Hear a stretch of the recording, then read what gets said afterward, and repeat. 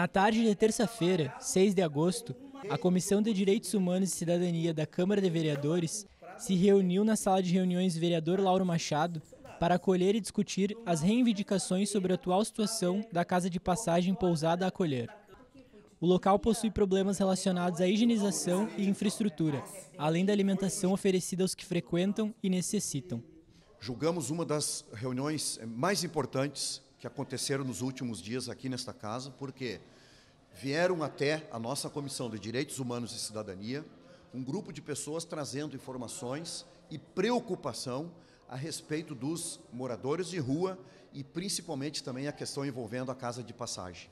A comissão tem por obrigação de fazer o acolhimento de todas essas informações e vamos deliberar ainda essa semana quais as providências que serão adotadas no decorrer desse período, com toda essa gama de informações que chegaram para nós. São informações importantes e informações graves, que preocupam a sociedade santamariense, porque precisamos fazer uma atuação muito forte no nível de cidadania para o acolhimento dessas pessoas que estão totalmente vulneráveis nas nossas ruas.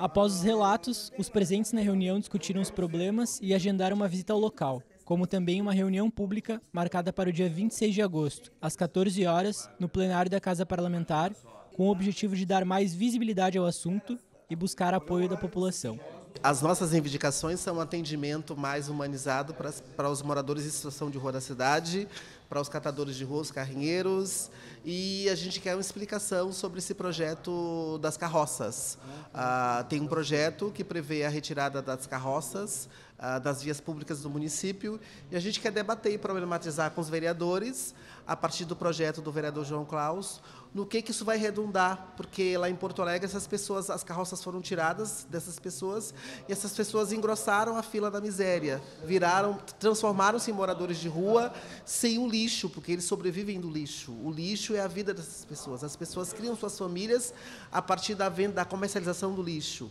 E uh, a questão da população em situação de rua foi pedida pelos moradores de rua da cidade, é, da gente trazer os serviços, trazer os secretários das pastas aqui numa audiência pública para explicar o que é, está sendo feito e o que pode ser feito para melhorar o, o, a qualidade de vida dessas pessoas. E também algumas denúncias que a gente ouviu no grupo de trabalho e a gente trouxe aqui para os vereadores. Denúncias de maus tratos, de violência, é, e de privações com relação ao atendimento na casa de passagem Pousada Acolher do município. Em um segundo momento, o pastor Valdoino Rodrigues Machado, representando o grupo de apoio a dependentes químicos, detentos e familiares da Zona Norte, apresentou aos vereadores um relato acerca da violência que cresce na cidade, pedindo uma solução e o apoio através de um evento para conscientização da sociedade. Nós viemos aqui me solicitar o apoio dessa comissão para nós juntos organizar ah, o nosso evento, que é o segundo fim de semana de outubro. É o Dia de Combate à Violência, onde nós todos ah, a possamos discutir ah, como é que anda a violência em nossa cidade. O número de, de homicídio, o número de suicídio, o número de jovens nas ruas, o número de presos, aonde nós possamos mostrar a realidade de miopacidade e mostrar também alternativas a como levar mais usuários de miopia para se internar, aonde nós possamos, cara meu, mostrar um trabalho de prevenção à violência e às drogas. A reunião, que na oportunidade foi presidida pelo vereador Coronel Vargas, também teve como presentes os vereadores Jorjão, Marião Mortari, Pastora Lorena, Ovidio Maier, Valdir Oliveira e João Caos.